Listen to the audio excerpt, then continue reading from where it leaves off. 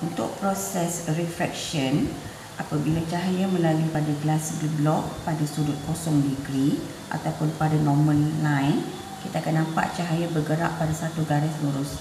Ini menunjukkan bahawa tiada berlaku pembiasan atau no refraction. Sebabnya adalah cahaya melalui pada satu garis lurus ataupun normal line pada sudut kosong degree. Bila kita letakkan satu sudut yang tertentu, akan berlaku pembengkokan cahaya. Okey.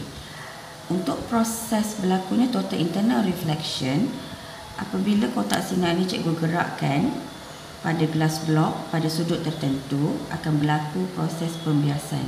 Bila kita tambahkan sudut dan tambah lagi, pembiasan akan terus berlaku.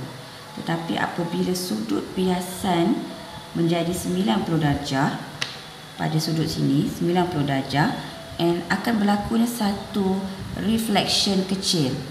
Ha. So sudut yang terhasil di sini dinamakan adalah sudut critical angle ataupun sudut genting. Eh, sudut genting.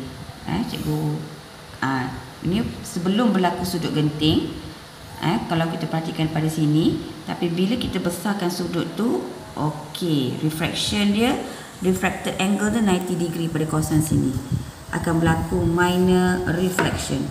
Bila sudut tu makin dibesarkan lagi daripada sudut genting dia, yang ni dinamakan seperti total internal reflection. Dan dan besar dan besar lagi. Ini yang dialami dalam aplikasi fiber optik dan juga um, mirage uh, dan juga pada rainbow. Contoh aplikasi ataupun fenomena secara semula jadi.